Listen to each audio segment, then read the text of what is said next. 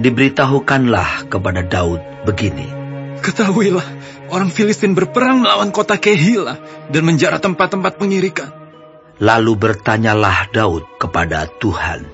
Apakah aku akan pergi mengalahkan orang Filistin itu? Jawab Tuhan kepada Daud.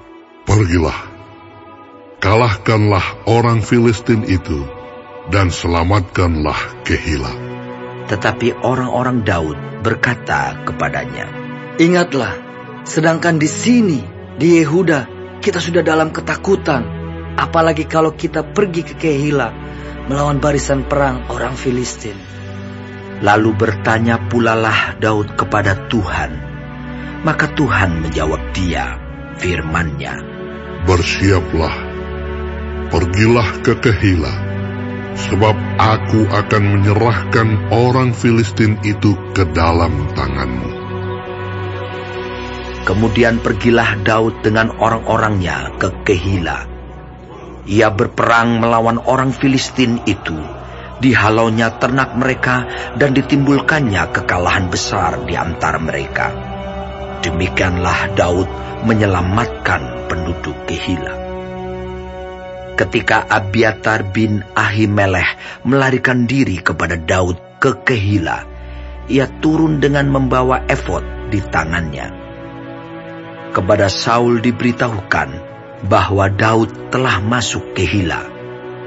Lalu berkatalah Saul, Allah telah menyerahkan dia ke dalam tanganku.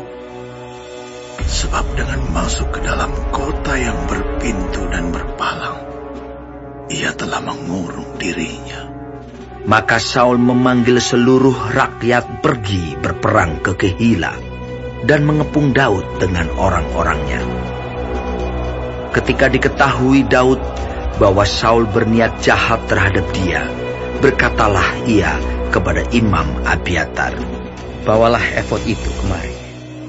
Berkatalah Daud, Tuhan, Allah Israel, hambamu ini telah mendengar kabar pasti bahwa Saul berikhtiar untuk datang ke Kehila dan memusnahkan kota ini oleh karena aku. Akan diserahkan oleh warga-warga kota Kehila itukah aku ke dalam tangannya? Akan datangkah Saul seperti yang telah didengar oleh hambamu ini? Tuhan Allah Israel, beritahukanlah kiranya kepada hambamu ini. Jawab Tuhan. Ia akan datang. Kemudian bertanyalah Daud. Akan diserahkan oleh warga-warga kota Kehila itukah? Aku dengan orang-orangku ke dalam tangan Saul. Firman Tuhan. Akan mereka serahkan. Lalu bersiaplah Daud dan orang-orangnya, kira-kira 600 orang banyaknya. Mereka keluar dari Kehila dan pergi ke mana saja mereka dapat pergi. Apabila kepada Saul diberitahukan bahwa Daud telah meluputkan diri dari Kehila, maka tidak jadilah ia maju berperang. Maka Daud tinggal di padang gurun, di tempat-tempat perlindungan. Ia tinggal di pegunungan, di padang gurun Zif. Dan selama waktu itu Saul mencari dia, tetapi Allah tidak menyerahkan dia ke dalam tangannya. Daud takut karena Saul telah keluar dengan maksud mencabut nyawanya. Ketika Daud ada di padang gurun Zif di Koresa, maka bersiaplah Yonatan anak Saul lalu pergi kepada Daud di Koresa. Ia menguatkan kepercayaan Daud kepada Allah dan berkata kepadanya, Janganlah takut, sebab tangan ayahku Saul tidak akan menangkap engkau. Engkau akan menjadi raja atas Israel, dan aku akan menjadi orang kedua di bawahmu. Juga ayahku Saul telah mengetahui yang demikian itu. Kemudian kedua orang itu mengikat perjanjian di hadapan Tuhan. Dan Daud tinggal di Koresa, tetapi Yonatan pulang ke rumahnya. Tetapi beberapa orang Zif pergi menghadap Saul di Gibea dan berkata, Daud menyembunyikan diri dekat kami di kubu-kubu gunung dekat Koresa, di Bukit Hakila, di sebelah selatan Padang Belantara. Oleh sebab itu, jika Tuanku Raja berkenan datang, silakanlah datang. Tanggungan kamilah untuk menyerahkan dia ke dalam tangan Raja. Berkatalah Saul, Diberkatilah kiranya kamu oleh Tuhan, karena kamu menunjukkan sayangmu kepadaku. Baiklah pergi, carilah kepastian lagi. Berusahalah mengetahui di mana ia berada dan siapa yang telah melihat dia di sana. Sebab telah dikatakan orang kepadaku bahwa ia sangat cerdik.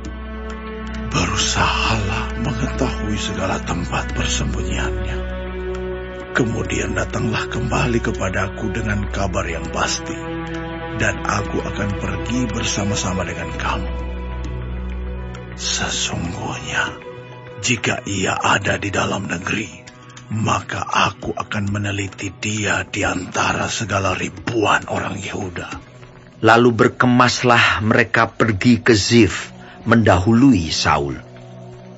Daud dan orang-orangnya ada di padang gurun Maon, di dataran di sebelah selatan padang belantara.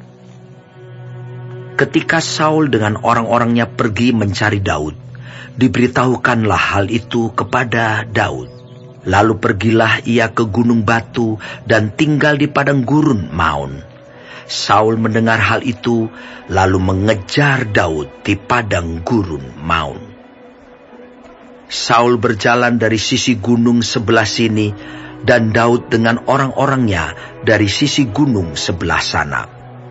Daud cepat-cepat mengelakkan Saul, tetapi Saul dengan orang-orangnya sudah hampir mengepung Daud serta orang-orangnya untuk menangkap mereka ketika seorang suruhan datang kepada Saul dengan pesan.